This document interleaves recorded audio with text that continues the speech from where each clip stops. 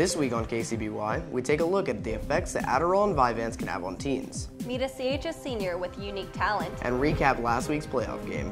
KCBY starts now. Hi,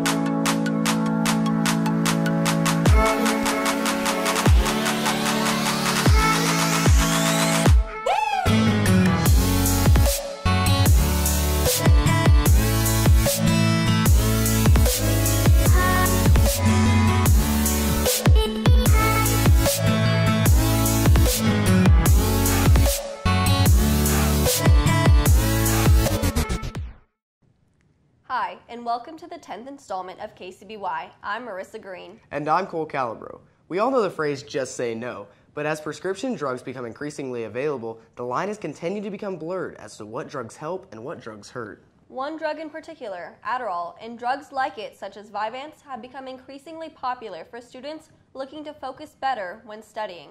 But students taking the drug without a prescription may not realize the full risk of using a prescription drug without a doctor's guidance. Rachel finds out more. For some of the 2 million teens who are diagnosed with ADD and ADHD, it's a familiar routine. You pour a glass of water and take a pill. A pill which allows you to get through the daily struggle of paying attention in class.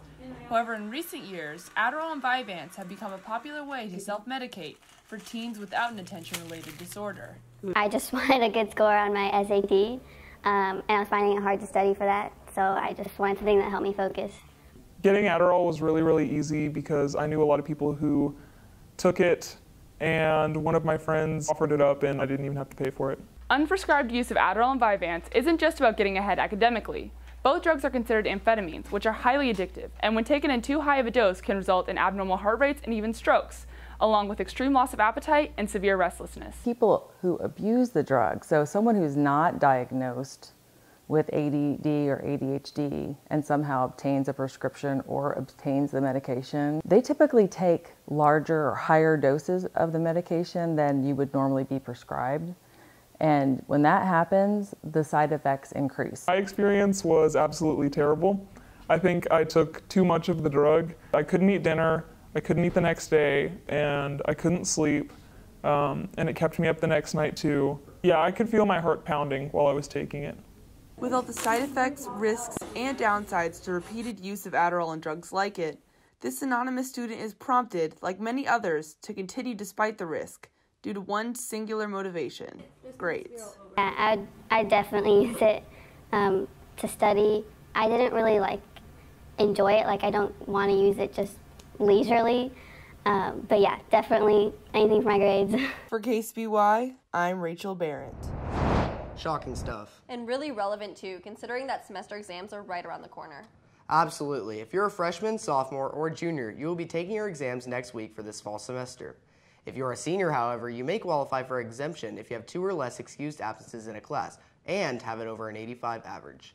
If you have one or more unexcused absences in any class, then you will not be qualified for exemption in that class. Fifth and seventh period exams will be on Tuesday. Second and fourth will be on Wednesday. First and third will be on Thursday. And lastly, sixth and eighth on Friday. CHS counselor Cheryl LeBrew gives her input on how to best prepare.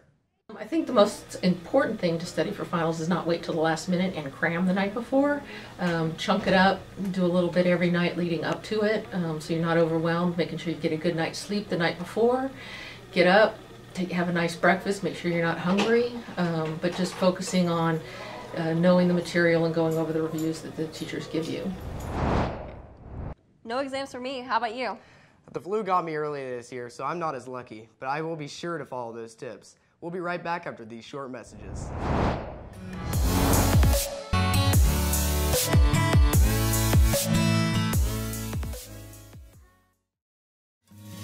In life, it's good to be informed on what's currently going on around you. With the Coppell Student Media app, you can explore Sidekick's latest issues of school news, sports, student life, and much more. Watch full episodes of KCBY, plus live updates from CSM's social media accounts. Download it today and get your mobile edition of the CSM app. Coppell Student Media, where the news comes to you.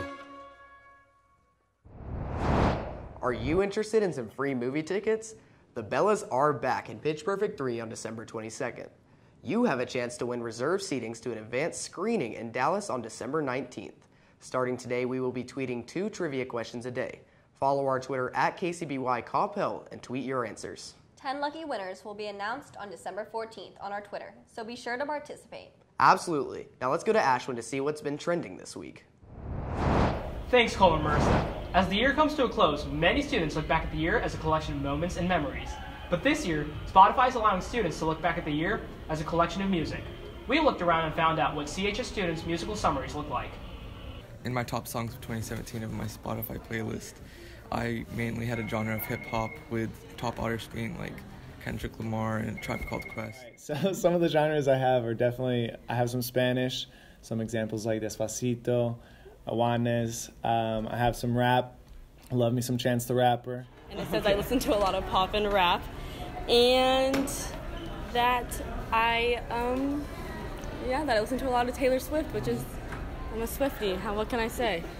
Tweet out your musical interests and tag Case White Coppell to show us what your musical interests are. Now back to Cole and Marissa in the studio.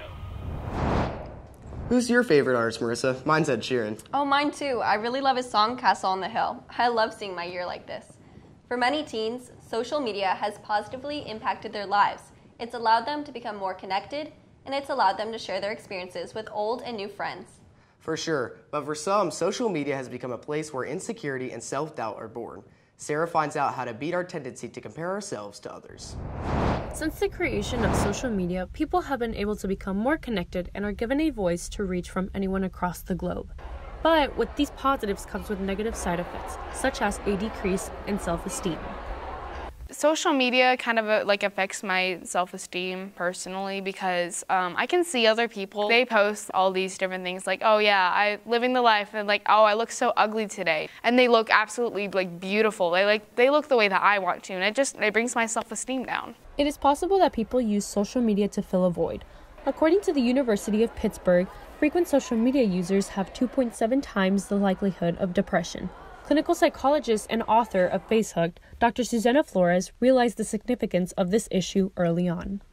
Um, there's um, a tendency for people to compare themselves to other people. What we see in front of us, for the most part, is on some level an illusion. Some studies have shown that we're comparing ourselves to our own profiles. The exposure to others' highlight reels on social media brings out the feelings of envy and distorted belief that the others live happier and more successful lives. Everyone wants to be liked. They want their posts to be liked. They want other people to text them. They usually want a positive response when they reach out to communicate. Even though movements are taking a step towards using this platform in a positive light, many people still unconsciously use social media in a way that is hurting them. Want to change that? Unfollow the accounts that discourage you and follow the accounts that are motivating and uplifting. We talked to self esteem coach Kamisha Coleman to learn more about overcoming these circumstances. Address the things that have not been addressed, address the things that are hurting you. I did a lot of mirror work. I looked in the mirror and I would just tell myself, Kamisha, I'm sorry. I'm sorry that I put you through so much. So I encourage even teenagers to do the mirror work, to say, I'm going to take better care of you. You actually have to build on that, determine who are, who are you. For KCBY, I'm Mildred Padilla. I think I might need to take a serious look about how I use my social media. Me too. Next, we look at one CHS senior with a unique talent she hopes to one day share with the world. Maddie finds out more about her love for a unique form of music. Music is essential to many of our lives, but perhaps none more so than Amelia Vanyo, a senior at Coppell High School. At a young age, she developed a passion not just for music, but the traditional and difficult art of opera. I didn't know that I wanted to do it until I was in um, the Magic Flute. Um, I was a lion's butt.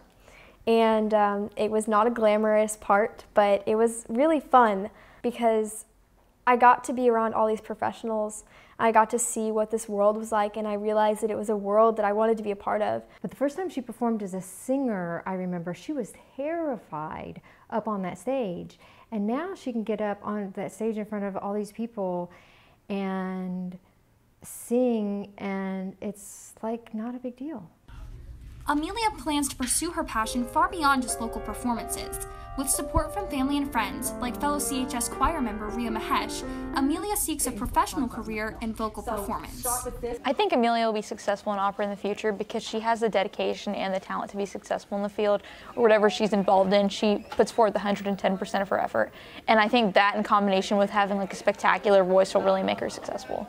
My hope is to get an undergraduate degree in vocal performance, then perform for a while. I want to be able to travel and see all these different opera houses and play lots of different roles. To Amelia, opera is more than just a passion or career. It's become a way of life.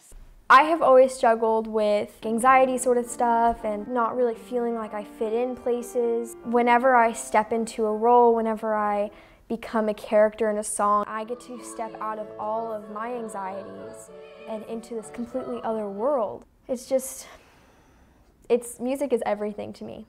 For KCBY, I'm Maddie Holsey. Such beautiful music. Absolutely. Now let's go to Allie in the CSM newsroom to see what Sidekick is working on. Allie? Thanks, Cole. This week on Coppell Student Media, view our content about Coppell Independent School District new strategic design efforts, as well as an article congratulating Bill Parker for being awarded Teacher of the Year. CSM also has a new 15 questions video featuring theater teacher Lisa Tabor. Also, congratulations to KCBY for winning its second NSPA Broadcast Pacemaker. Read Fiona Koshi's story about this national recognition. Be sure to pick up a copy of the Sidekicks December issue, which hits the racks next week. Now back to Cole and Marissa. Thanks, Allie. Now to Ashley with CSPN. Hi, I'm Ashley Miznazzi, and this is CSPN.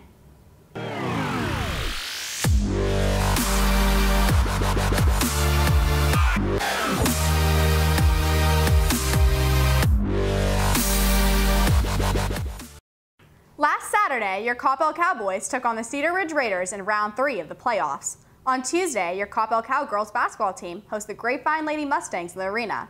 Here's Nolan with your weekly sports wrap up. Last Saturday, your Coppell Cowboys traveled to Waco to take on the Cedar Ridge Raiders at Baylor's McLane Stadium. Coppell received the opening kickoff and capped off for their first drive with a 20 yard touchdown run by Ryan Hurd. On Cedar Ridge's second drive, the Raiders drove down the field and scored to tie the game at 7. With two minutes before the end of the first quarter, Ryan Hurt punched it for his second touchdown of the game, giving Coppell a 14-7 lead. After strong defensive stands by both teams, Coppell received a boost after fumble forced by Justin Murray, setting up a quarterback keeper by Brady McBride to give the Cowboys a 21-7 lead with four minutes before half. Cedar Ridge quickly responded, scoring on a deep touchdown pass to make the score 21-14 going into halftime. The Raiders opened up second half quickly, scoring on a touchdown pass to tie the game at 21.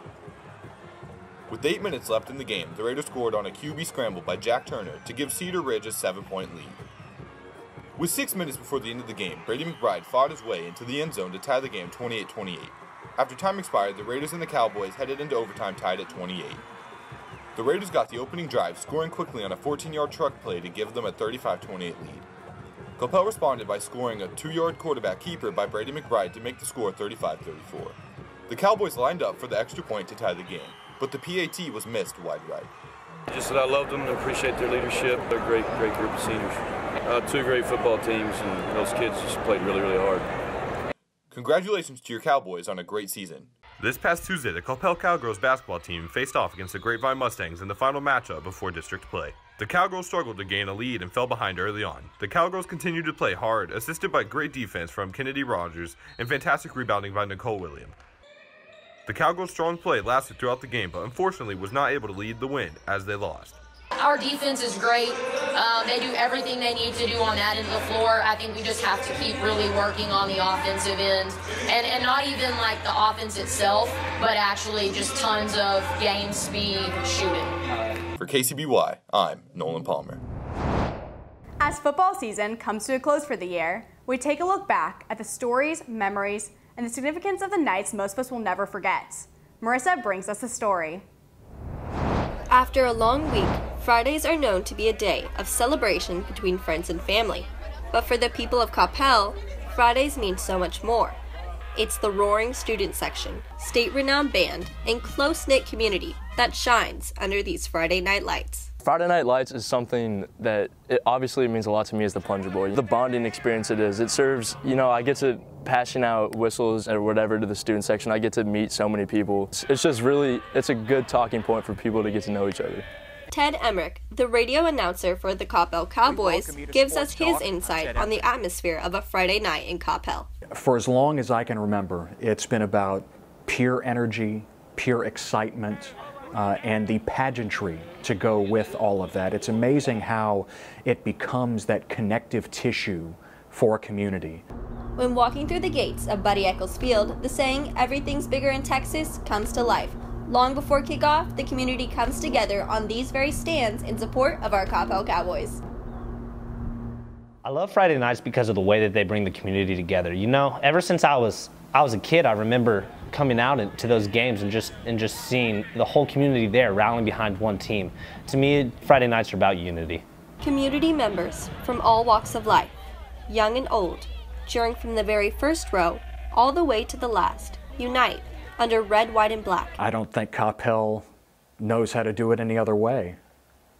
The, the experience at Buddy Echols Field, the entertainment value just with this team, obviously goes beyond that with the band and the cheerleaders and the drill team, and everybody plays their part. That's what makes high school football so special in Texas. It's not just about the on field product. That's what will bring you in the gate for sure but there's a lot of moving parts, and that's what makes it so special here in Coppell. For KCBY, I'm Marissa Green. Thanks for watching CSPN. Now back to Cole and Marissa. Thanks, Ashley. The girls basketball team takes on JJ Pearce away tonight. Now to special features.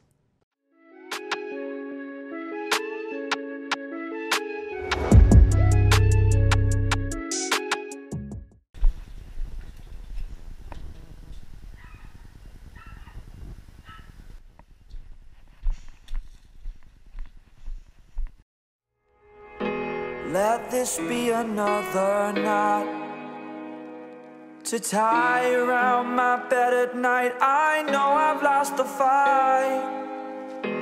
To erase your face, my mind. Awake, I lie here staring up beyond the sky